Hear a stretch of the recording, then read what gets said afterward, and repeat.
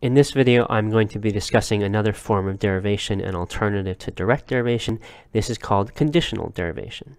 So let's have an English example first of uh, an argument and a conditional derivation of it.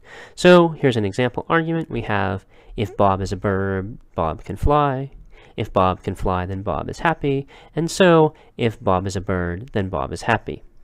So we can't do a direct derivation of this, it, because a direct derivation we would just write down if Bob is a bird, Bob can fly, and if Bob can fly, then Bob is happy. And if we are restricting ourselves to the inference rules we have at hand, there's nothing we can do. In particular, we can't do modus ponens.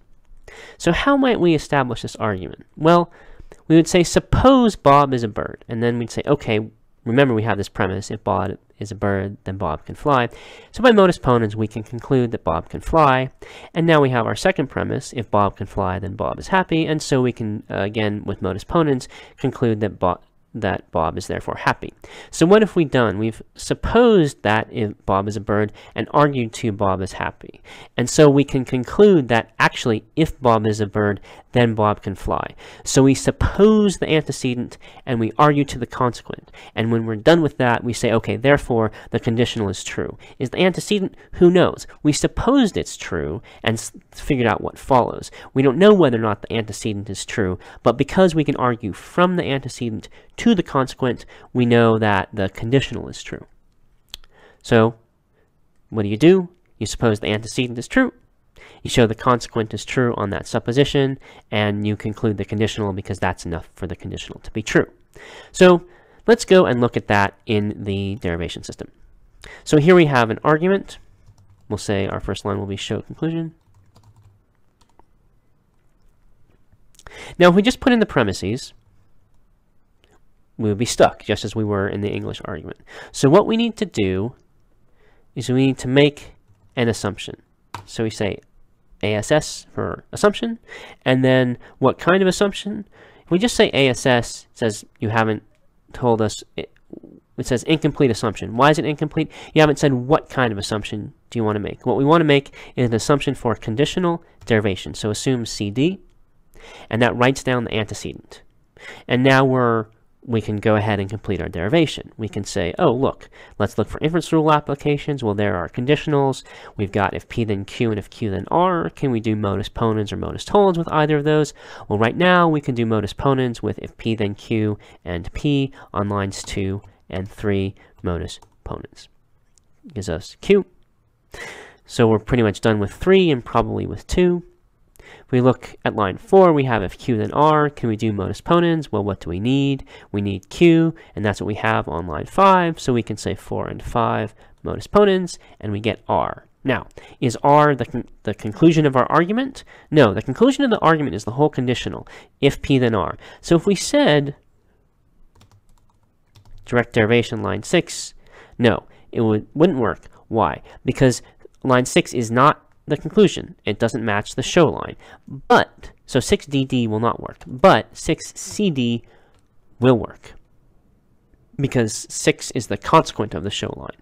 So what we're saying is we've argued from the antecedent to the consequent, and therefore the conditional is true. True, excuse me. So if we check, works, it's a uniform derivation. So good.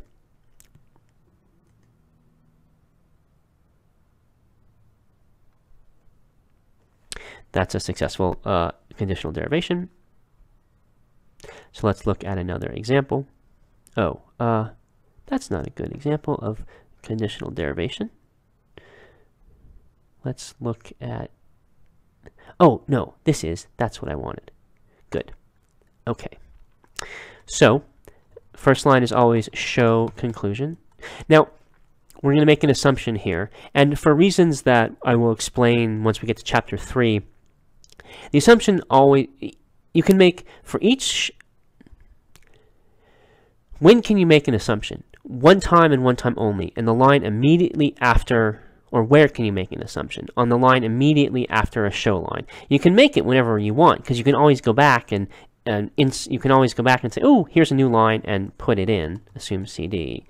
But now, this one's no good because it's previous line is not a show line. The only place you can make an assumption is on the previous line. Eh, excuse me, is on the line immediately following a show line. That's it. That's all. So it, when you're setting up derivations, maybe you're doing a direct derivation. But if you're not doing a direct derivation, the, you always write show, and then you always make an assumption.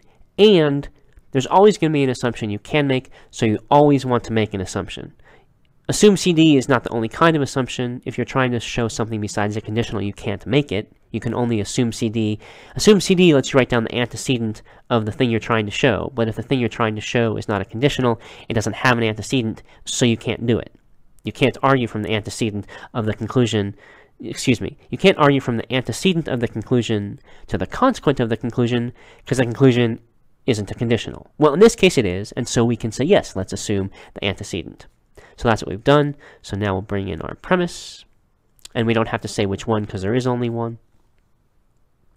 Can we do modus ponens with lines 2 and 3? No, because we don't have the antecedent.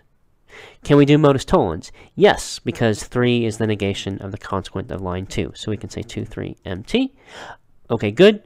There's our consequent. So we can say, ah, we're done. Line 4, cd. And we can check that. Correct.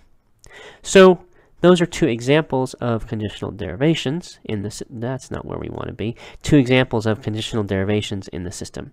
So let's just, uh, yeah. This is what we do. We say when you're trying to show a conditional, you can assume the antecedent with assume CD. As I said, assumption must always be on the line immediately following the show line. And when you get a consequent on, when you get the con, if you're trying to show a conditional, and you get the consequent on line n, then to box and cancel, you say n c d.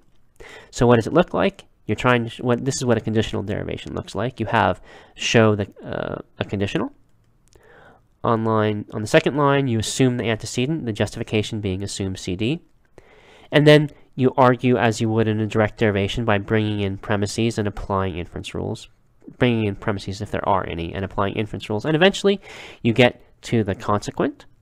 And then on the next line, you say 6cd, and that lets you box and cancel.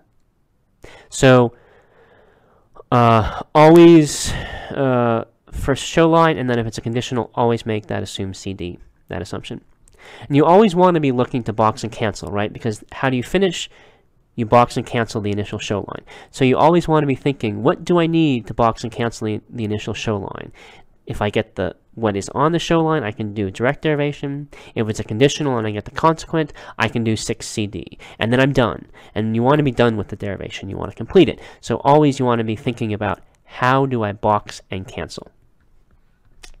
Okay, good. So uh, in the next video, I will discuss the last variety of derivation, what's called indirect derivation.